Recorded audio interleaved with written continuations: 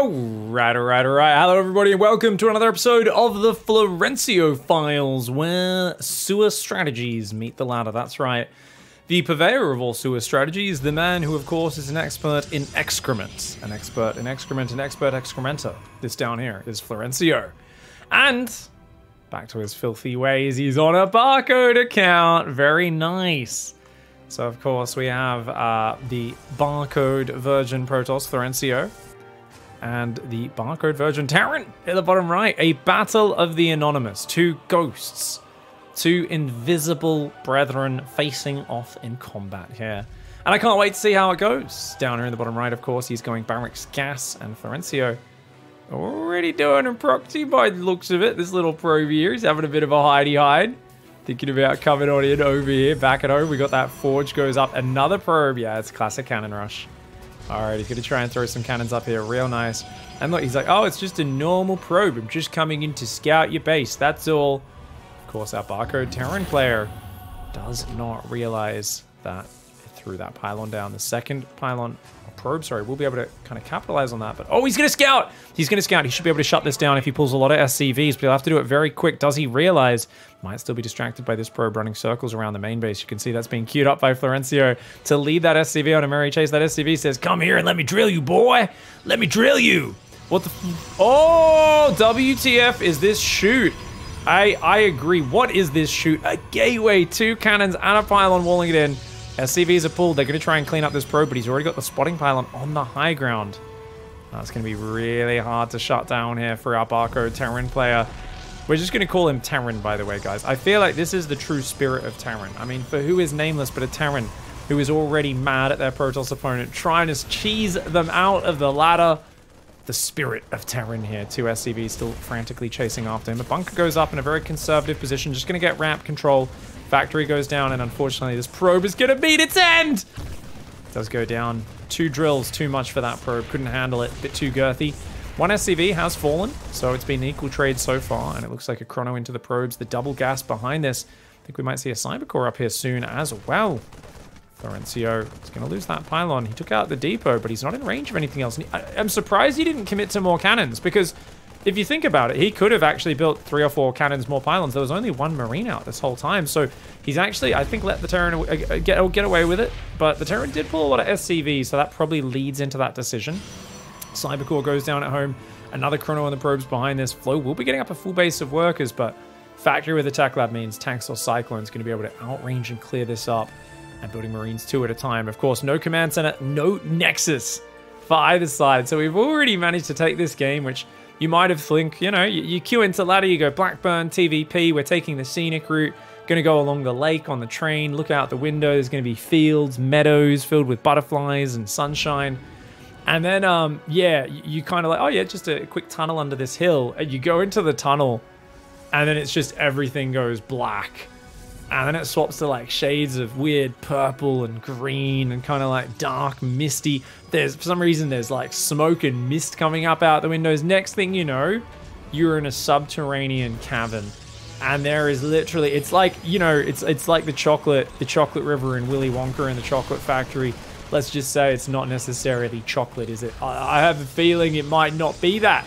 It might be something a little bit less tasty. Uh you can already smell it starting to permeate the train carriage. And I think it's at this point as a Terran player who's already a little bit mad. You've already stood up and said, Excuse me? What the F is this shoot? Where are we going? Where is this train taking me? But the conductor just smiles at him, nods, and doesn't actually react. Little does the spirit of Terran realize that I think he might be on the train to D-Town. That's right. I think he might be on the way there. Now, whether Florencio could take him all the way to the destination and conduct him there is yet to be seen, but going to depower this gateway in the near future. Stalker. Ooh, getting locked on. Got to be careful. But he's got another pylon there. If he can get this sentry out, then he could force field the ramp to keep him contained. That would be super cool. Stargate is now up at the four and a half minute mark. Super duper late, but it is going to get there. He's going to try and take down this gateway, but the sentry is out. Nice scan, though. He knows about the sentry. And double Viking, more Cyclones, more Marines. This is a pretty damn good setup. He sees the Stargate as well. And there's a probe over here for Florencio. So in case a drop leaves to the left, he's got a very good chance of spotting it with this probe. You could tell he's set this up really nicely. All right, Stalkers not going to get out of the gateway. So just one Zealot, one Stalker, one Sentry, and a Void Ray on the way. We are locked in a one-base war. Oh, Force Field! Oh, what you could do is if you can trap those Cyclones on the low ground, the Zealot and the Stalker might be able to kill them. I don't know if you have enough damage, though. If they've used their lock on the pylon, you can. But otherwise, it's going to be tricky. Oh, we got a Fleet Beacon going down at home. Heck yeah. All right, so he's going to go for the Tempest, can tell you. We've got a tank coming out, which is going to try and range from the high ground, start clearing these cannons, which you can see they're far enough back that the Cyclones need to come down the ramp to get at them. So I actually love this position because it's really hard to siege from the high ground. I'm not even sure if a tank from here or here will reach it. And if you go down there, he can force field you at the bottom of the ramp, and then the Void Rays can just tear you apart. So how do you get down this ramp is the big question. And the Spirit of Terran, eh, clearly playing cautiously, just massing Vikings, Cyclones, Tanks, Marines. Not a single Tempest out just yet, but how do you actually clear through this? Ooh, the Vikings kind of baiting there. Very nice. Cyclone's going to go forward as well. Oh, oh, the Void Ray comes forward. Not a good move. The Cyclone lock on. Only one Cyclone locked on. You need to manually lock on if you want more than one Cyclone to lock on a unit. It's going to go for the snipe. Goes for it. Gets the Viking. Can it get out of there, though? Nah, great triple lock. Void Ray for a Viking. That's a good trade for the Terran. Spirit of Terran is at 69 supply versus 33. I mean, by all rights, Florencio should be dead right now. Second command center does go down. The unit's are going to move down. He's going to push, but the cannons are in range. Three shield batteries and three cannons fighting. The tank is getting taken down by that cannon. Will it go down? The tank survives. The tank just barely surviving. The sentry and the stalker could finish it off right now. The stalker will go forward and take it out. There's still a cannon up, another cannon there, and one more cannon about to finish. And that Tempest getting some shots off as well. A few of these units go down. Double force field. A bit of panic there from Florencio trying to maintain this position. He's going to rebuild the cannons and batteries, but overall, that whittled down a lot of the Terran units. What did he lose, guys? He'd already lost the Void Ray, so he lost a Zealot and a few cannons, kills Vikings, Cyclones, tanks, and a Marine. Ooh, and now the Tempest coming out as well. Gets a Viking, damages a Cyclone. The tank looking super exposed there. Florencio is having an absolute ball right now. That tank's going to get out of there. And it looks like it should escape. Still has command center coming up. Terran player does not have stim or anything like that that would scale to the point where he could just like stim 20, 30 Marines down and clear this all up. It's all still very technical units, but the power of the cannons and the batteries, they're very sustained damage and healing. So this is one of those situations where you're like, I should be so far ahead. But just how do you actually crack out and break it? And I think the answer is you don't. I think you've got to go hit the economy, maybe land a Viking. But Terran is so focused on surviving the spirit of Terran right now. And he's just, and this is so irritating so Florencio has set up this multi-layered contain now. And what, you're gonna float a command center there? No way. Look at that. He even anticipates it. He's like, you know what? I saw the command center building. Let's make sure he can't even float that down. oh, you dickhead, Florencio. I, I want to watch this from Spirit of Terran's point of view. All right, we're on Spirit of Terran's view. Let's let's see. He sees a pylon and a stalker, and he's like, nope, okay, we'll turn around. We'll go back up there. Fine. You dickhead. He's going to try and move a tank to the edge to clear that up. More Vikings Magfield on the way. He's going to try and build a third command center here. Not, not a bad idea to get more economy up, but you're going to have to secure somewhere else to mine from as well, and that's going to be difficult. Spirit of Terran right now is going, what the hell is this? The conductor still just staring eerily, and it almost feels like the gaze of him. He's not really locking eyes with the Spirit of Terran. I feel like the, the, the Florencio conductor here is just kind of glaring, looking right through him, you know? It's that uneasy thing when you're talking to someone and you're not even sure if they can see you. You guys ever talk to someone who's like taking way too many drugs or alcohol and their eyes are like kind of glazed over? Yeah, it's kind of like that. Except, of course, he is high.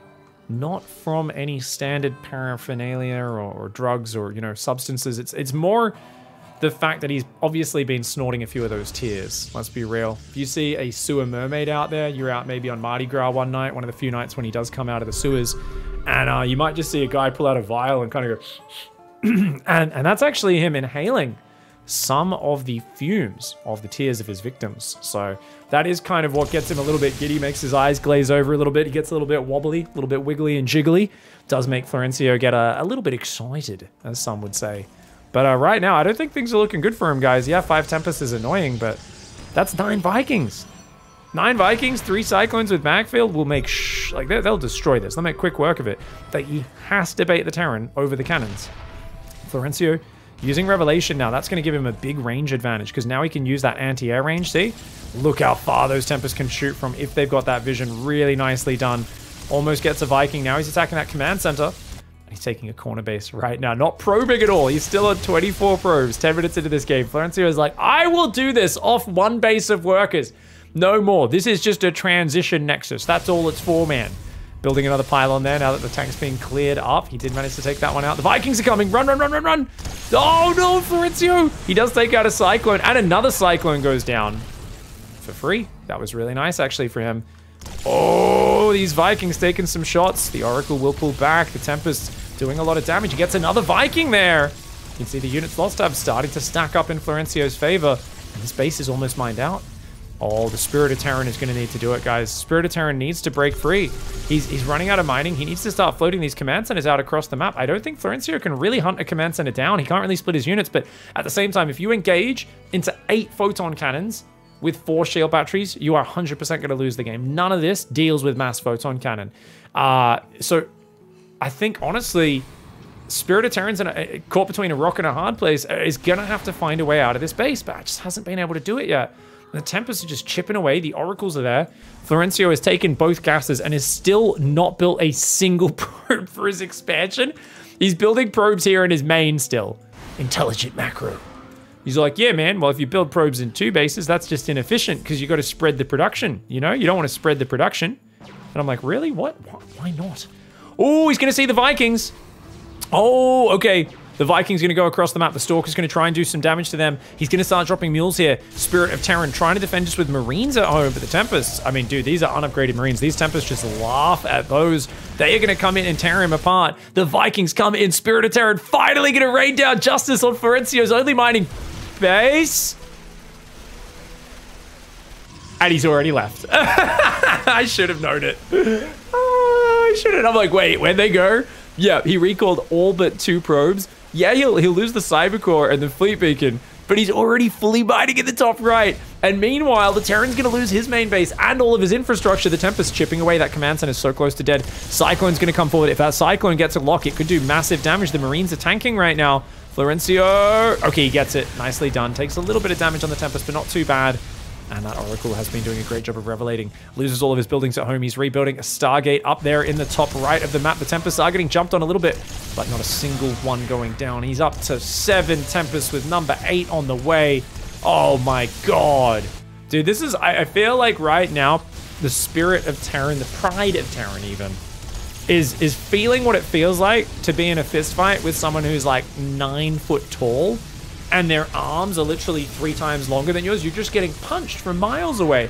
Your units can't close the distance. The Vikings, though, are going to sprint forward. They're going to try and tackle these Tempests. If they can bring them down to the ground, maybe they can do it some work. They get one Tempest there. They don't want to chase, though. That was an interesting revelation there for Florencio. He did miss the Vikings by half a screen. I think he was using uh, refraction. So for those who don't know the science of refraction, so hunting Vikings, um, Florencio teaches us in his science school, it's a lot like trying to hunt fish. So if you ever, if you guys have ever been spear fishing, what you realize is that because of the refraction of the water, you don't want to aim at where the fish is, you want to aim off to the side of it. And it's the exact same thing with Vikings because of the uh, Koprulu refraction. Um, he explains it all in his course. If you guys want the technical explanation, make sure you sign up to Florencio Science School for kids who can't macro grid. Right now, guys, two fake Colossus are going to see the Vikings coming. He's got to get out of there, guys. Does he have recall? Oh, no, recall's not ready. Guys, recall's still seven seconds away. It's not ready and the Vikings are here. Guys, you do not want to fight without the cannon battery. Oh no, he's lost a Tempest. Another Tempest. They're getting one shot. Another Tempest recall's available, but he hasn't used it. Oh no, he's getting slaughtered. Florencio did so well for so long, but Tempest cannot leave the safety of the cannon battery. Oh man, he kills a few Vikings, but that's a great fight for the Terran. Helps tie up the units lost a little bit. You can see he's lost 11 Vikings 8 Tempests, but most of those Vikings died before that fight. Oh no, Florencio's got a Stalker and a Sentry right now. Two kills on the Sentry, one kill on the Stalker. What's he doing? He's building a Void Ray? He's building two Void Rays and two Zealots. His Cyber Core's not rebuilt. He doesn't have Warp Gate. He has not a single upgrade. He's going to try and take the top base. But dude, he's in such a bad spot. These Vikings might be able to go kill him right now. The Terran player, though, his production is still stuck in the main, so he can't get out of his main base, right? Uh, especially, I mean, he has a medevac, so he could he could ferry them out. But he's going to go out and start clearing these pylons now. Florencio, he's just got like what a void ray, another void ray, a stalker, a sentry, some slow zealots building. This is terrible. Florencio's in a big spot of bother right now, and he's trying to gather up his units. But the Terran has much better army now. The Terran has not found his mining bases. He's got Vikings Base looking. is under attack. He might start to realize that Florencio is in this top right of the map soon enough, though, as this Viking hunts down all over the shop. Does ferry two Cyclones to the outside as well. That medevac doing a great job.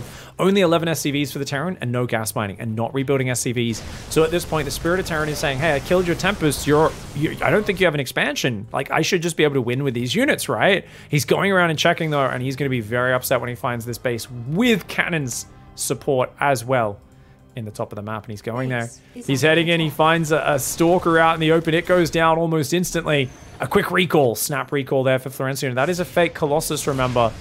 Uh, but he doesn't know that. Viking does go down. Three Void Rays, a Zealot, a Stalker Sentry, and a fake Colossus. Shield batteries are going down. Cyclone and a Marine rally in, and, uh, you know, what are you doing, man? That's not... It's, it's going to take forever to drain those shield batteries of energy. He is rebuilding SCVs now. He's going to need to rebuild the gas as well so we can keep up the tech unit production.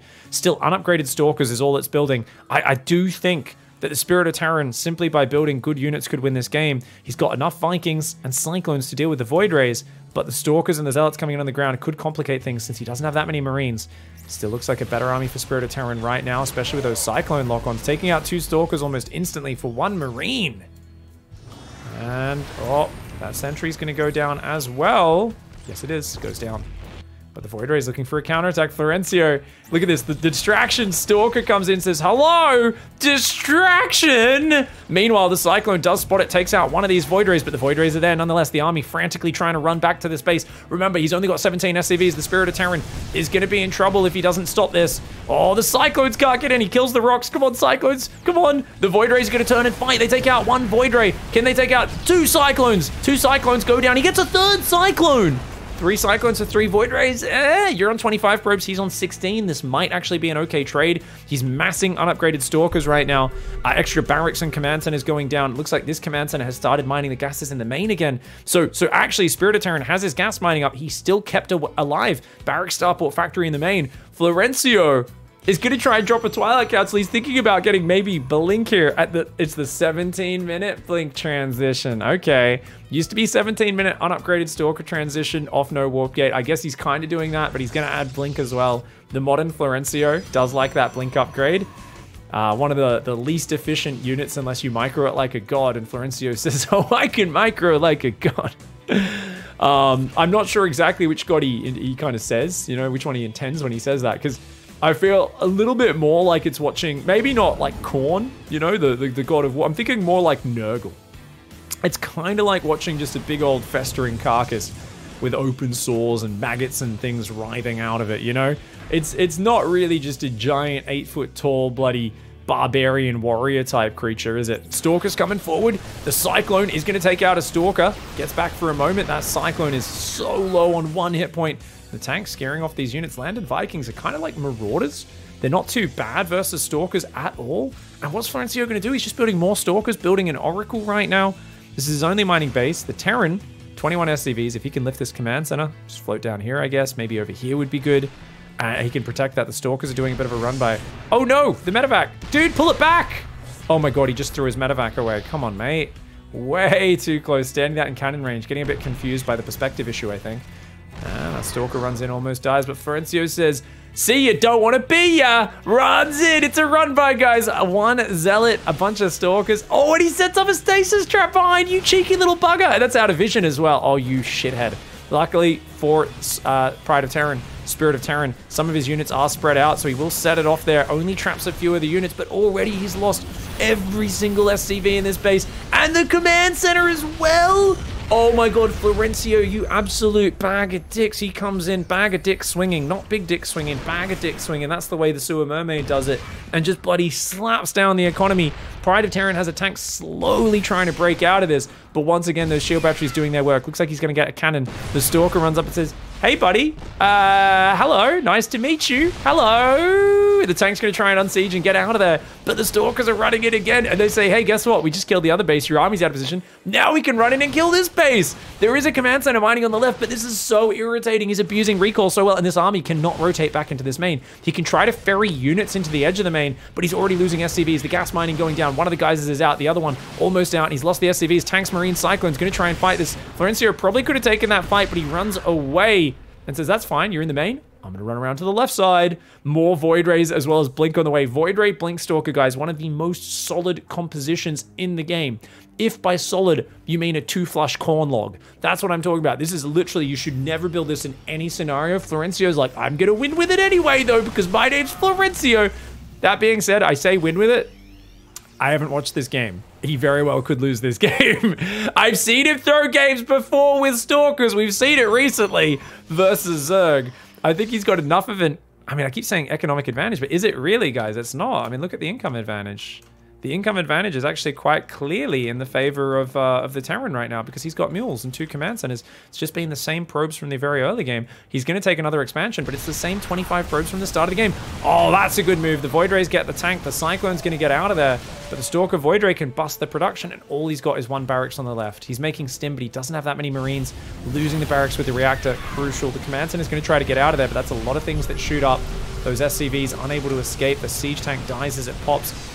Center will go down next as well. You can see just how massive the damage is from that army. 14 Blink Stalkers, 4 Void Rays. And all these depots are juicy targets for NCO. Please kill the depots, mate. And he's going to do it. Yeah, that's massive damage. The Terran player is going to have to rebuild his depots from scratch. It's a disaster. And all of one base of workers, guys. 21 minutes, one base of workers, all you need. Now, a Cyclone can kill a full Nexus with three lock-ons. Each lock-on is 14 seconds. That's going to take 42 seconds for a Cyclone to kill a full Nexus. Uh, maybe a little bit less, more like 38, since the third lock-on doesn't need to complete its damage. You only need about half of the damage off that third one. Unfortunately for him, it's not going to be in time. The recall comes in. The Cyclone gets diddled and just leaves one depot there. He says, tell anyone else who comes here what I did to you. Actually, on second, no, no, we, we will just, uh, we'll burn you down. The uh, little Terrans that live inside this little Terran house. Ah, my home. Um, because there's families that live in the depots. The supply, the military supply depots have families. There's like kids in there sitting around a campfire. It's a whole thing. Don't worry, guys. The lore in StarCraft doesn't make that much sense. Shh.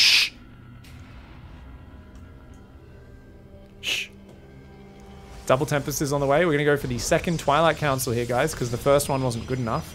Uh, yep, Florencio, doing Florencio things. This Nexus is actually going to go down. The Stim Marines and the Vikings, but the Stalkers are on the hunt. Guys, you can't run away from Blink Stalkers very well. They're very quick. You might try and just land. But if he lands the Vikings, he can't deal with the Void Rays. Oh, he's getting hunted down. Florencio can absolutely chase this. He pauses there to make sure he doesn't get ambushed on the ramp and he blinks forward. He says, YOLO, mate. You're going, you're going to get hunted down. The gold base gets found as well. And these Marines are so damaged. He's got to abandon ship. You can't stand and fight. The Void Rays are on top of the Vikings. That's never good for Vikings. Vikings only beat Void Rays if they run away, shoot, run away, shoot. But with the Stalkers chasing after them, that's not really an option. And Florencio with a resounding thwunk slaps his bomby knocker, or in this case, his excrement knocker, over the Spirit of Terran's face and gives him a nasty, nasty time. Guys, Florencio lost seven probes in the making of this game. You're still on 24 probes at the end. That's right, 23 minute game. 31 probes built in the entire duration, only ever mining from one base at a time. What an absolute Chad gamer. Well played, mate. Thank you very much for watching this episode of the Florencio Files, everybody. A special thanks to Modern Totem, Max and Colonel SC, Jacob G, for supporting us on the Patreon, as well as everyone else whose name's here and anyone who supported past, present, or future. If you guys want to help with the Patreon, info's down below. And a special thanks to Modern Totem, who has, of course, impregnated our channel because he's a goddamn Leviathan. Thanks for watching, everybody. We'll see you next time. Goodbye and good night.